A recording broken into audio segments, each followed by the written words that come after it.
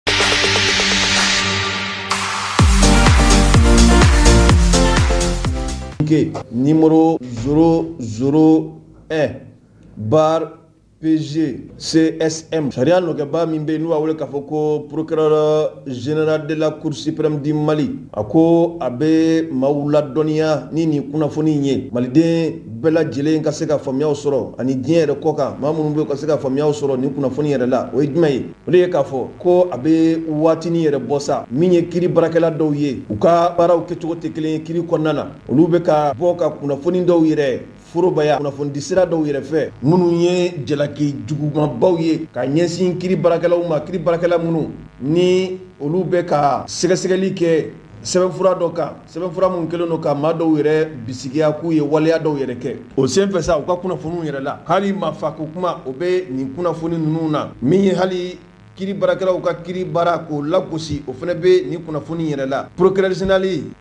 siprami yɛrɛ kɔnɔna na a ko ale bɛ laɲini kɛ nin tigilamɔgɔ ninnu fɛ u ka to u yɛrɛ ka hukumu min ni sariya ye o du ma u ka to o kɔnɔna na u bɛ ka nin lahala min ta ka ɲɛsin kiri baarakɛlaw yɛrɛ ma nin de bɛ wele k'a fɔ ko darakɔrɔ bɔli wa o ye sariya sɔsɔba de ye sariya sɔsɔ min ni a ɲangilen don an ka jamana yɛrɛ kɔnɔna na o senfɛ sa min ye kiri baarakɛlaw yɛrɛ u ka kulu min bɛ sigi ni o ye conseil disciplinaire ye laɲini kɔni kelen don bi maa minnu bɛ ka nin baara ninnu kɛ u ka bila ka taa sariya yɛrɛ ɲɛkɔrɔ ko in kana na bila ten k'a fɔ ko ɲangili kɔni ma kɛ a la cogoya si la sabu n'i ye a ta k'a lagɛ sariya bɛ perepelatigɛ dɔw yɛrɛ di kiri baarakɛla ale ka jɔyɔrɔ ma ani a kan ka yɛrɛminɛ min kɛ baara kɔnɔna na a man k'i da porokoto ka taa bɔ ni kuma sugu dɔw ye k'a to a ka baara yɛrɛ kɔnɔna na i n'a fɔ ko u ka baara yɛrɛ kɛcogo b'o ɲɛfɔ ni o ye code de deontologie des magistrats o senfɛ procureur général de la cour suprême a ko a bɛ maaw ladɔnniya k'a fɔ sɛbɛnfura dɔw kɔni tun dalen bɛ jamana faama kɔrɔ dɔw kan u bɛ sɛbɛnfura min wele k'a fɔ ko mandat d'arrêt international maa min bɛ yen n'u b'a wele k'a fɔ mustafa bɛn barika bubu sise cɛman ibɛri kulubali mamadu igor jara babaliba sidi mohamɛd kanyasi amadu kuma nuhum kuma sumayila jaabi mamadu lamini jakite a bɛ ɲini nin tigilamɔgɔ ninnu yɛrɛ fɛ u mana kɛ diɲɛ jamana o jamana na u ka fɛɛrɛ kɛ ka na kiri mɔgɔ min b'u la ka na o jaabi yɛrɛ di wa kiri sigilen bɛ ka ni ma kofɔlɔ ninnu makɔnɔ o senfɛ sa a yirala k'a fɔ kurusipɛrɛmu a sariya nɔgɛnba ka dantigɛli la ko sɛbɛnfura dɔ taara sɛbɛnfura min n'u b'a wele k'a fɔ ko ordonnance de mise en liberté ni o ye ka maa dɔ kana bila ka bɔ kaso yɛrɛ kɔnɔna na o sababuya nana kɛ min ye musaka dɔ ye k'o bila kiri tigilamɔgɔw yɛrɛ ka bolo kan ni o bɛ kɛ i n'a fɔ ko garanti laɲini dɔ tun kɛra maa fila ɲɔgɔn bonyanko fɛ min ye madamu buware fili sisogo fo ka taa fara mahamadu kamara kan ninnu tun ye laɲini kɛ u yɛrɛ ka kana wɔrɔya ni bilali la yanni kiri baaraw yanni kiri waati cɛ nka a nana yira k'a fɔ kiri tigilamɔgɔw kɔni ye ninnu fila bɛɛ lajɛlen ka damakasi lamɛn sinsin o nana kɛ min kan o de ye k'a fɔ madamu buware fili sisoko ale kɔni bɛna to bɛrɛla hali bi sabu laɲini tun kɛra ale yɛrɛ fɛ a ka na ni miliyɔn kɛmɛ duuru sefa wari yɛrɛ la min bɛ bila kiri tigilamɔgɔw bolokɔrɔ n'a ni kiri waati cɛ o ma se ka sɔrɔ min bɛ tali kɛ mahamadu kamara kan a yɛrɛ la k'a fɔ ko ale kɔni ka kanhɔrɔyali o dira a ma k'a sababuya kɛ musaka min bɛ di ni o bɛ komi garanti miliyɔn kɛmɛ duuru sefa wari yɛrɛ la ale sera sa ka o kɔni di k'a yɛrɛ kunmabɔ o de senfɛ min bɛ tali kɛ titiri fɔnse ni o ye dugukolo sɛbɛnfura ye o tan bɔɲɔgɔnko a nana ni o ye o bilala jamana yɛrɛ cɛkɛbɔnaso min bɛ yen n'u b'a wele k'a fɔ ko direction nationale du cadastre a dira o ɲɛmaaba yɛrɛ ma ni o ye directeur national du cadastre ye o de senfɛ sa a yirala k'a fɔ min hali bi kiri baraw olu kɔni bɛ sen na ni ma kofɔlen ninnu olu nɔfɛ nka a bɛ ka kɛ hukumu kɔnɔ hukumu min min bɛ tali kɛ adamadenw ka hakɛ tɔbɔtɔli janto adamadenw ka hakɛ la o hukumu kɔnɔna na tuma bɛɛ maa minnu jalakelen don siga de kelen don u la hali bi madama ni kiri kɔni ni o ma tigɛ pewu mali tribunalisoba ka nɔminɛnikɛba ni o ye procureur general de la cour supreme a ko ale kɔni ka da yɛlɛlen don bɛɛ lajɛlen ye mali kɔnɔ ani mali kɔ kan ni maa o maa mago bɛ kunnafoni jɔnjɔn na nin ko in yɛrɛ kan u labɛnnen don k'o di o tigilamɔgɔ ma nka a ka faamu kɔni k'a fɔ nin baara in kɔni bɛ kiri de bolo sa tuma dɔ la ni kiri fana baara bɛ sen na kunnafoni jɔnjɔn dɔw bɛ a ka gɛlɛn olu ka se ka di maaw ma o ye kiri yɛrɛ sariya yɛrɛ taabolo ye o senfɛ sa mali kirisoba a sariya nɔgɛnba ni o ye procureur général de la cour suprême du mali a ko nin kunnafoni min dilen filɛ nin a jigiya b'a kan k'a fɔ ko maaw ko nin bɛna faamuya jɔnjɔnw sɔrɔ a la nin yɛrɛ bolonɔbila kɛra bamakɔ marisikalo tile tan ni wɔɔrɔ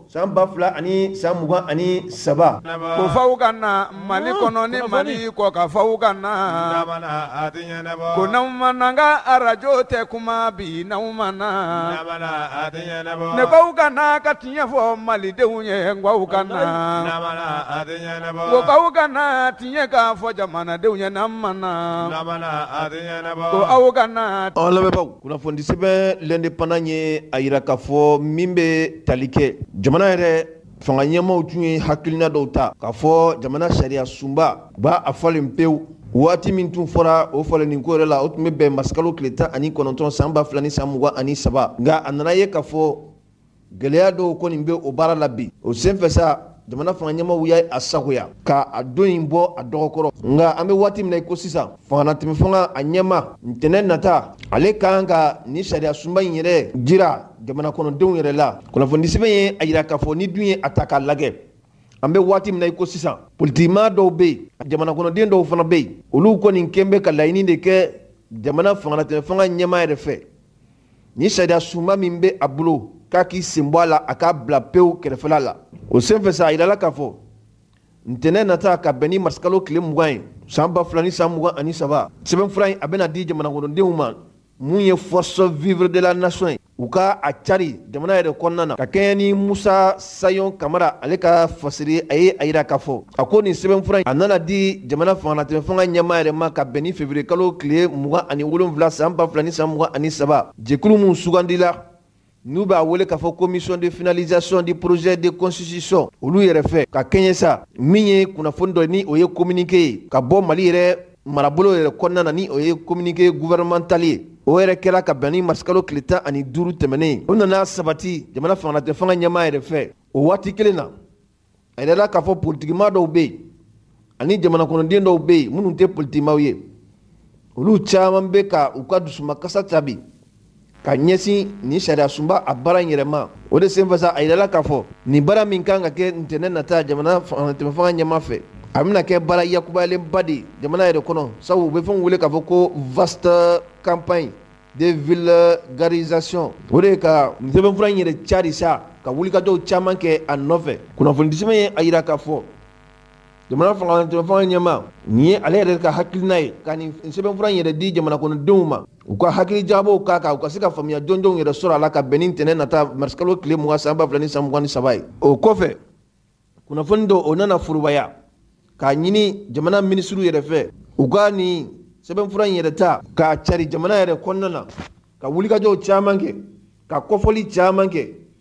min b'a to jamana kɔnɔdenw bɛ se k'a faamuya cogoya min na kunnafonidi sɛbɛn ye a yira k'a fɔ a ko a dɔ la min ye hakilina yira min tun kan ka kɛ nin sɛbɛnfura in yɛrɛ kan ni o ye referendum ye a dɔ la a kun dɔ fana ye nin ye k'a fɔ ko a ma cari jamana yɛrɛ kɔnɔ maaw ma faamuya jɔnjɔn sɔrɔ a la wulikajɔ de bɛna kɛ bi ka o faamuya jɔnjɔn yɛrɛ di jamana kɔnɔdenw ma ko n'i ye nin baara in yɛrɛ boli a dɔgɔkɔ la a sababu jɔnjɔn dɔ fana bɛ se ka kɛ o ye a sababu jɔnjɔn dɔ fana ye mun ye tuguni min bɛ tali kɛ jɛkulu min sigira jamana fangatɛ fanga ɲɛmaaw yɛrɛ fɛ ni o ye autorité indépendante de gestion des élections age olu fana ka cari jamana sigidugu bɛɛ lajɛlen na olu ka caribaliya jamana sigidugu bɛɛ lajɛlen na o fana ye a kun dɔ ye sabu a yirala k'a fɔ ni waati laban in na min ye jamana yɛrɛ a eresiyɔn min bɛ yen o bɛ taa fɔ tan ani kɔnɔntɔn bɔɲɔgɔnko la k'a fara district de bamako yɛrɛ kan ani a makafow an dun bɛ waati min na i ko sisan ni ɛzi baarakɛla ninnu olu ma se ka sigi u kan ka sigi yɔrɔ minnu fana na a tun yirala k'a fɔ olu ka sigili kan ka kɛ k'a daminɛ utukalo tile fila ka taa bila utukalo tile bi saba ani kelen san ba fila ni san mugan ani fila kɔnɔna na kunnafonidisɛbɛn ye a yira k'a fɔ kun jɔnjɔn min b'a la tuguni referendum ni o ye mɔgɔw k'u sago yɛrɛ fɔ jamana sariya sunba kan o bɔli a dɔgɔkɔrɔ o de ye k'a fɔ sɛbɛnfura min bɛ yen n'u b'a wele k'a fɔ ko carte d'identité biométrique sécurisée o fana sɔrɔbaliya jamana kɔnɔdenw yɛrɛ fɛ ka caya o ye majɛba ye sabu a yirala k'a fɔ o carte d'identité biométrique sécurisée nin ale bɛna kɛ kalata sɛbɛn de ye wa a bɛna jɔyɔrɔba ta fɛnɛ jamanakɔnɔdenw olu ka sɛbɛn fura kow yɛrɛ la ni dun ye a ta k'a lagɛ jamanakɔnɔden fan caman de bɛ yen minnu tɛgɛ ma da u ta kan k'a fɔ k'i bɛ o referendum kɛ nin kan ka ta o tun ye gɛlɛyaba ye nka a yirala k'a fɔ nin karidante biometrique sécurisé nin a tun fɔra k'a fɔ ko ale fana tun baara ka kan ka jɔ ka bɛn ni marisikalo tile bi saba ani kelen san ba fila ni san mugan ani saba nka a bɛ se ka kɛ waati nataw la a bɛna lakurakuraya tuguni maa b'i yɛrɛ ɲininka jamana fangalatɛmɛ fanga ɲɛma a bɛna nin hakilina min ta ntɛnɛ nata yala a bɛna jamana kɔnɔdenw nimisi wasa wa wala a tɛ n'u nimisi wasa wa jamana kɔnɔdenw bɛna sɔn nin ma wa wala jamana kɔnɔdenw tɛna sɔn nin nama wa donna nataw la faamuya jɔnjɔw olu bɛna sɔrɔ o la kunnafoni an ye a sɔrɔ sɛbɛn min kɔnɔ u k'a ma ko l'indépendant mali kɔnɔ ni mali kɔ ka faw ka na ko n'aw ma na ka arajo tɛ kuma bi n'aw ma na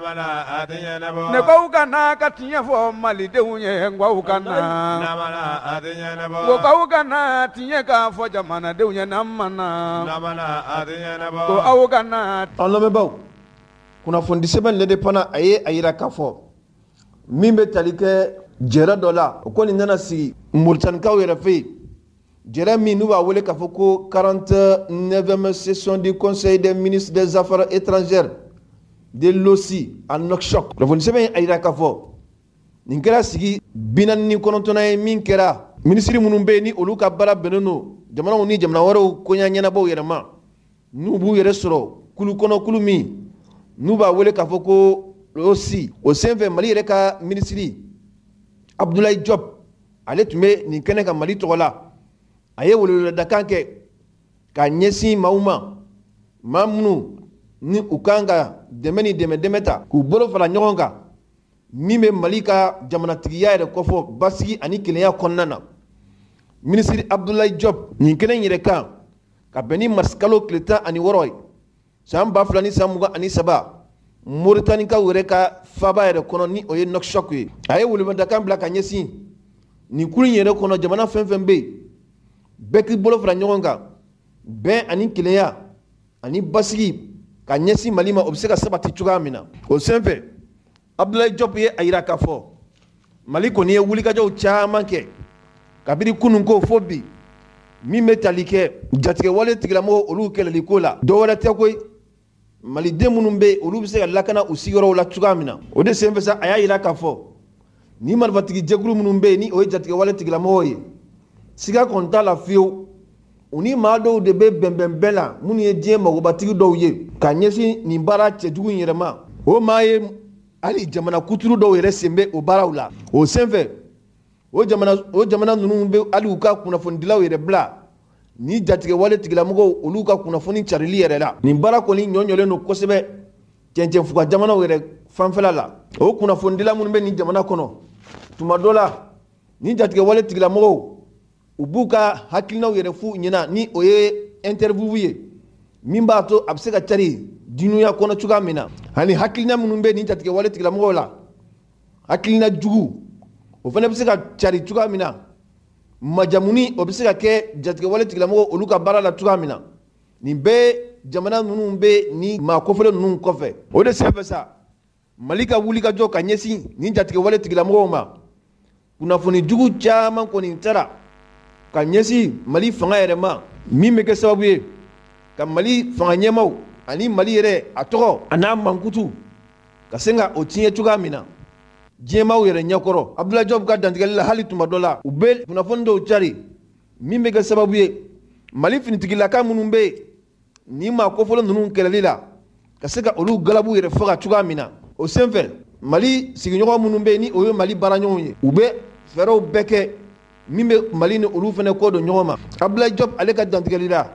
a ko o baara minnu filɛ nin jamana dɔw yɛrɛ fɛ n'u bɛ ka u yɛrɛ danbeya ka taa ni adamadenw ka hakɛ tɔpɔtɔliko ye o waati kelen u bɛ ka jamana dɔw yɛrɛ lonbolanba ka basigibaliya yɛrɛ sabati o jamanaw kɔnɔna na maa yɛrɛ bɛ se ka o faamu cogo di sabu waati tɛmɛnenw na hakilina min tun bɛ politiki sira yɛrɛ fɛ o de tun ye ka fɛɛrɛ ni dabali sigi sen kan min bɛ mali yɛrɛ tila fila ye cogoya min na nka nin jamana kofɔlen ninnu nan'a ye k'a fɔ o baara tɛ se ka ɲɛ sɔrɔ cogoya si la hali bi abdulayi jɔp ale ka dantigɛli la a y'a yira k'a fɔ mali kɔni jigiya b'a kan a teri jamana minnu bɛ yen n'a baaraɲɔgɔn jamana minnu bɛ yen kɛrɛnkɛrɛnnenya la minnu b'u yɛrɛ sɔrɔ nin kulu yɛrɛ kɔnɔ ni o ye losi ye an bɛɛ ka fara ɲɔgɔn kan min b'a to mali ka kelenya mali ka sabati mali ka jamanatigiya o bɛ se ka sabati cogoya min na ka ɲɛsin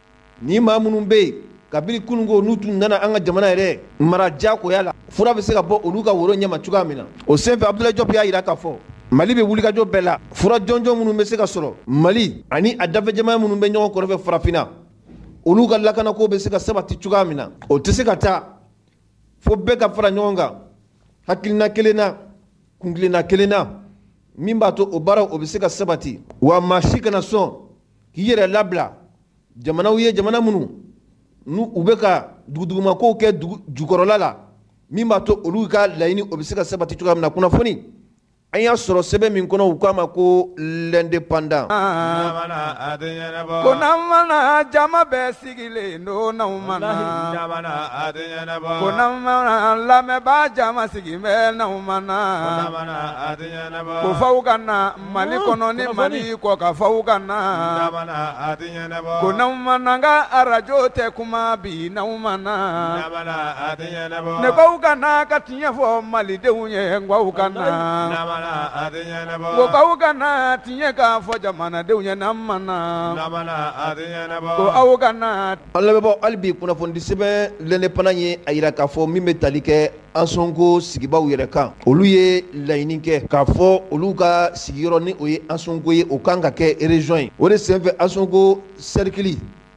u ko ko baara min kɛra jamana fangalatɛmɛfanga ɲɛmaaw fɛ ni o ye dekupage administratif ye olu bɛ a fili kɛrɛfɛ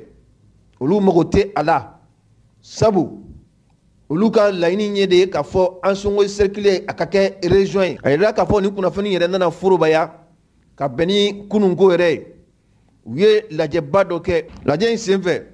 sɛbɛnfura dɔ o nana forobaya u bɛ sɛbɛnfura min wele k'a fɔ ko manifeste k'a di min ye fanga yɛrɛ ka lasigiden min bɛ an sɔngɔ yɛrɛ mara kɔnɔ kunnafoni an y'a sɔrɔ sɛbɛn min kɔnɔ u k'a ma ko l'indépendant an lamɛnbaa hali bi l'indépendant kelen ye a jira k'a fɔ min bɛ tali kɛ sigida naaninan a sariya nɔgɛnba min bɛ yen ni o ye procurɛre idirisa ture ka kɛɲɛ sa min bɛ tali jamana yɛrɛ minisiriso min bɛ ni a ka baara bɛnnen don kiri yɛrɛ kunkanko kow yɛrɛ ma o ni a ka makafo u ye sigi dɔ kɛ sigi min n'a bɛ wele k'a fɔ ko atelier o atelier in tun bɛ min kan o de ye ka se ka yɛlɛma dɔw don jamana yɛrɛ taabolo la kɛrɛnkɛrɛnnenya la adamadenw olu ka hakɛw sɔrɔli o tɔbɔtɔliko la ani yuruguyurugu ni ŋanamuŋanamu furaka jɔnjɔn ka sɔrɔ o la ani min bɛ tali kɛ bɔlɔlɔ sanfɛla yɛrɛ la bi waleya cɛjugu minnu bɛ ka taa ka ɲɛsin mɔgɔw ma ka se ka cɛkɛbɔdaso yɛrɛ sigi olu bɛɛ lajɛlen kama o de senfɛ sa dantigɛli dɔ o nana kɛ sigida naaninan o sariya nɔgɛnba fɛ ni o ye idirisa h ture ye o senfɛ sa a yirala k'a fɔ min bɛ tali kɛ maa kɛmɛ saba ani maa bi kɔnɔntɔn ani maa kɔnɔntɔn bɔɲɔgɔnko o de nana bila ka taa kaso la sigida naaninan tiribinaliso yɛrɛ fɛ kalo saba kɔnɔna na kunnafonisɛbɛn ye a yira k'a fɔ a ko nin kunnafoni yɛrɛ nana bɔ ka bɛn ni masikalo tile tan ani duuru a kɛra sariya nɔgɛnba sigida naaninan ale yɛrɛ fɛ o senfɛ sa a yirala k'a fɔ a na kɛ sa i n'a fɔ ko sira dɔ bɛ olu ni bɔlɔlɔ kɛlɛli ko yɛrɛ ni ɲɔgɔn cɛ la jɛkulu min bɛ yen n'u b'a wele k'a fɔ ko pôle national de lutte contre la cybercriminalité kunnafonisɛbɛn ye a jira k'a fɔ a ko nin hakilina in yɛrɛ taara ka bɛn ni jumadon dɔ ye novanburukalo tile tan ani kelen san ba fila ni san mugan ani fila ka wulikajɔw kɛ maa minnu bɛ yen n'u bɛ waleya cɛjuguw kɛ k'u dogo bɔlɔlɔ yɛrɛ kɔfɛla fɛ ka hali jamana yɛrɛ ba wuli k'u dogo bɔlɔlɔ kɔfɛla fɛ ka sɔrɔ k'u yɛrɛ kɛ i n'a fɔ ko olu ye kunnafonidilaw de ye o dun ye sariya sɔsɔba de ye o de senfɛ sa ɲininkali dɔw o nana kɛ sariya nɔgɛba yɛrɛ la ni o ye procurɛri ye o ɲininkali jaabi nana kɛ ale yɛrɛ fɛ ko kalo saba tɛmɛnen na olu ye maa kɛmɛ saba ni maa bi kɔnɔntɔn ani kɔnɔntɔn bɔɲɔgɔnko de bila ka taa kaso la o maa kɛmɛ saba ni bi kɔnɔntɔn ni kɔnɔntɔn na maa kɛmɛ saba ni bi wolonfila ani fila bɔɲɔgɔnko olu ka kiri baara nana kɛ maa mugan ani wolonfila bɔɲɔgɔnko olu bɛ makɔnɔni na ka da sababuya dɔw yɛrɛ kan o de senfɛ a nana yira k'a fɔ maa si tɛ bila i taalen kɔ kaso la komini kati yɛrɛ tiribinali la maa dama kalo kelen kɔni ma dafa e k'a fɔ k'i bɛ fiye bɔda de ɲini sɔn kɔni tɛna kɛ o ma cogoya si la nka a ka dantigɛli la a y'a jira k'a fɔ min ye maa dɔw ka lahalaw ye o bɛ se ka mɛn sen na ka da u yɛrɛ ka waleya kɛcogo yɛrɛ kan n'olu tigilamɔgɔw kɔni bila la kaso la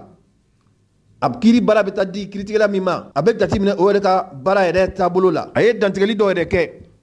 min bɛ tali kɛ kunnafonidilaw olu yɛrɛ ka lahalaw yɛrɛ kan ko yuguyurugu ko ani ɲumanya ko o tɛ maa kelen ye bɛɛ de nɔ don fan bɛɛ de tiɲɛ don na an bɛ waati min na i ko sisan n'a kan ka kɛlɛ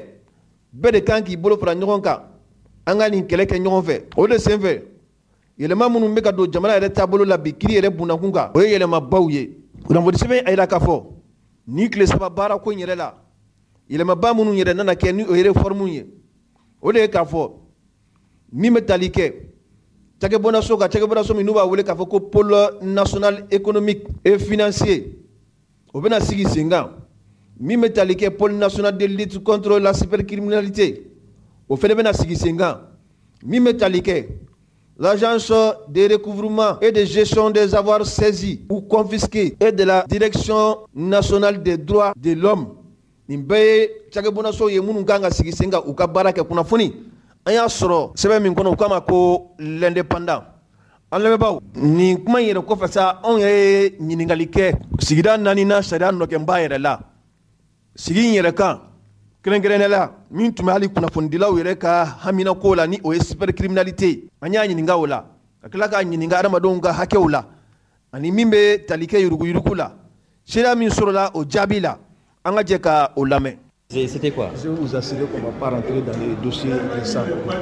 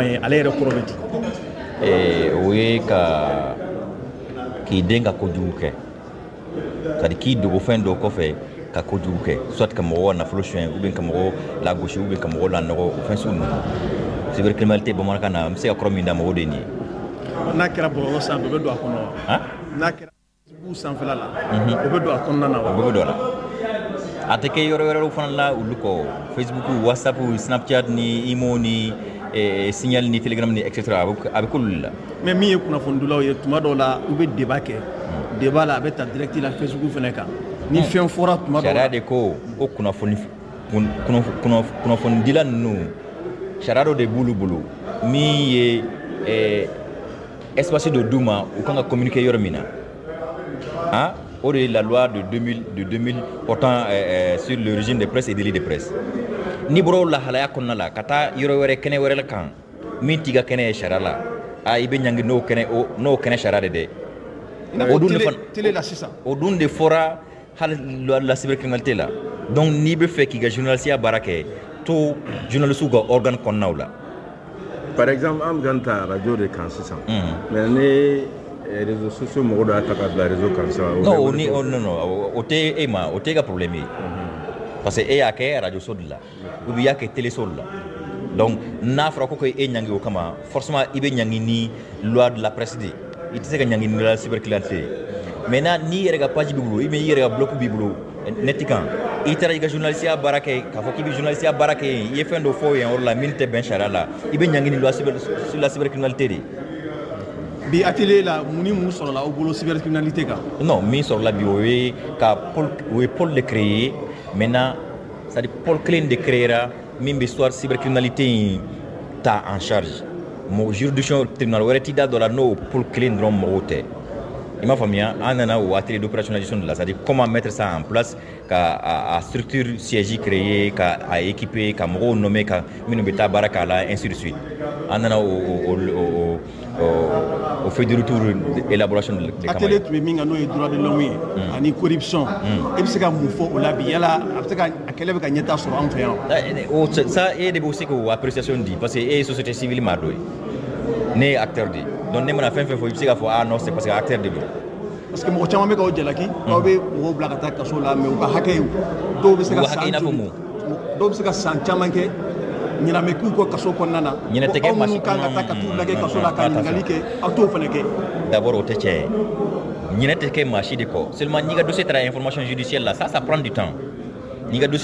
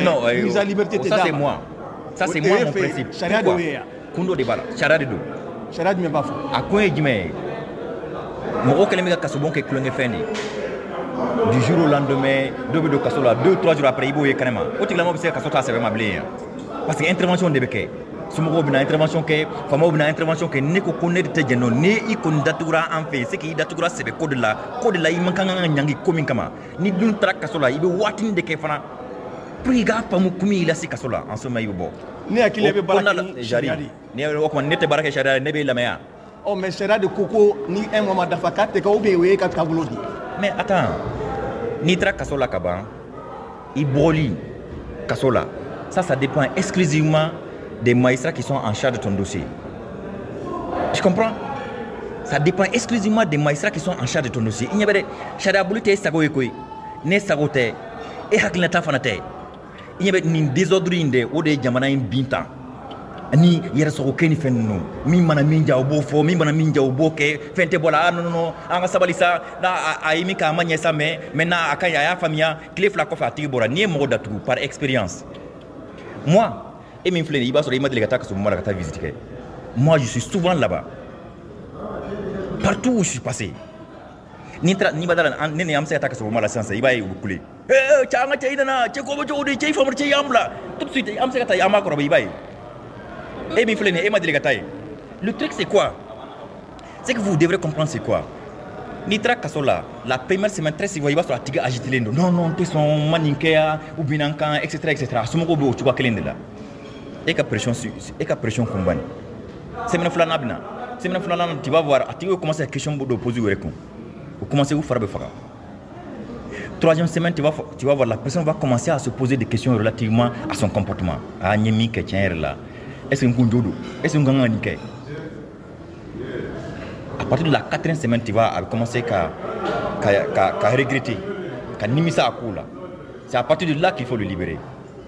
N'i y'a libéré en ce moment, tu ne perds pas un citoyen. Tu récupères le monsieur. Mais pendant que pression b'i kunna semaine kelen y'a tigi datugu o semaine kɔnɔna la bɛɛ de bɛ intervention kɛ fan bɛɛ fɛ kuma sugu bɛɛ fɔ pour que a tigi a tigi se ka bila si tu lâche o semaine kelen kɔnɔna la a tigi bɔra a t'a dɔn yɛrɛ min kɛra n ɲɛ bɛ de justice ye fɛn dɔ ye kulonkɛ ko tɛ o yɛrɛsagokɛ fana tɛ anw ni anw de bɛ se ka jɛ ɲɔgɔn fɛ ni ko anw aw ne kan tɛ aw journaliste ma dɛ aw yɛrɛ tɛ ɲuman kɛ yɛrɛ kɛ yɛrɛ aw b'anw ta de fɔ bɛɛ de ko don an bɛɛ lajɛlen de bɛ jɛ ka bolo di ɲɔgɔn ma pour que se ka la justice le changement voulu au sein de la justice ne peut venir que par ne peut pas venir par les seuls acteurs de la justice o tɛ se ka kɛ il faut que bɛɛ de ka fara ɲɔgɔn kan a ka faamuya c'est ça la question Min bin bɛ kɛ mɔgɔw kan mɔgɔw bɛ kaso la dɛ sase tu fɛ ɲɔgɔn pa que a bɛ di pan ni datura in faracla kɛ a se kɔnp a bɛ di jidens de ma don tan kisi den ka tila ka yen bɛsi sɔn na sa safe pan di tan parce que n'a y'i bila i bɛ se ka bɔ ka taa pbu pbu e fase i bɛ se ka bɔ ka taa kɔnsatasafurulisi kɛ ni temo ye ka dɔw halisesi bɔn sunfɛnw u bɛɛ bɛ se ka kɛ ka te dɔw deli purku kana na bɔ kaso la pur que zedi ka so pur que kana na